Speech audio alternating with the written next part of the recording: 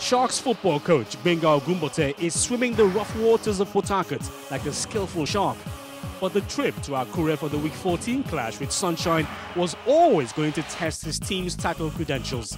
There was also the small matter of Sunshine Stars being his last employers before travelling east to join Sharks. Fans of Sunshine Stars were happy to have back in Akure the man who led them to the semi-finals of CAF Confederations Cup and Champions League in three memorable years. But that's where the affection ended. Coach Ogunbote is one that's been here before, and while he was here, he was quite a nice coach. He, he, was very technical when he was here.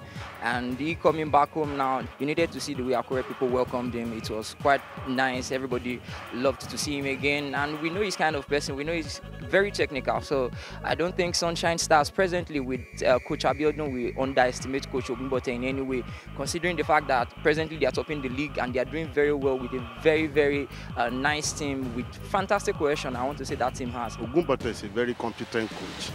And from my own observation, from the little time Ogunbote has spent with us here, during the time when he was coaching with Sunshine Star, we see he's articulate. He's the one that took us to I mean, Continental, Champions League. Even after Ogunbogo spent uh, two or three years in Akure, I mean, Sunshine's uh, football club. That one doesn't mean that you come to Akure today. Definitely Ogunbogo will lose today. Sharks are one of the teams hitting the right notes almost halfway into the season, and few can argue they do not deserve to be among the leading pack. Ogunbote's deep knowledge of Sunshine was also a factor.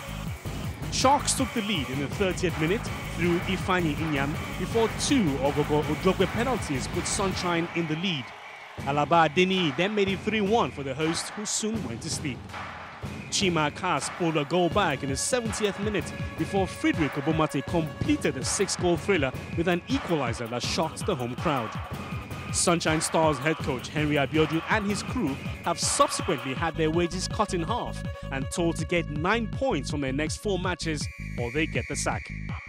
Ogunbote, on the other hand, and his wards continued their predatory swim on the upper echelons of the table, but the Ogun State born coach was keen to make his celebration low-key out of respect to Sunshine.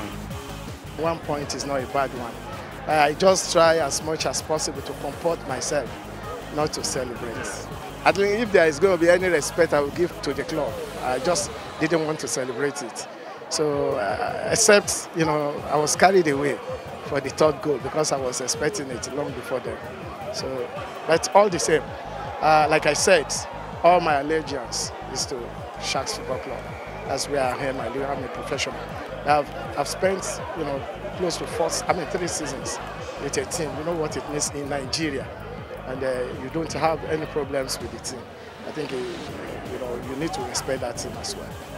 Sharks have not had a start this good for the past seven years. Fans of the Blue Angels would hope they have the staying power to win their first ever league title come October.